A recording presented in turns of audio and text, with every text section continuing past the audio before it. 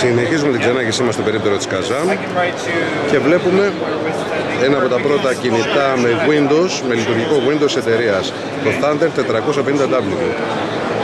Ε, ξέρω ότι θα πείτε πολύ, θα σας θυμίσει, ότι σας θυμίζει λίγο HTC. Ε, λογικό είναι, οι άνθρωποι που δημιουργήσαν την Kazam άλλωστε από την HTC προέρχονται, δεν είναι κακό αυτό.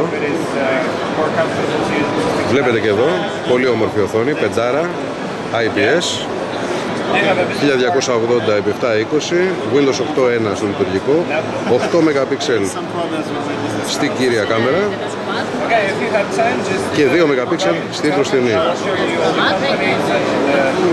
Dual SIM το κινητό, αυτό, υπάρχει microSD φυσικά, μια πραγματικά όμορφη συσκευή, η οποία σίγουρα θα είναι και σε προστό κόστος και πιστεύουμε ότι θα πάει καλά.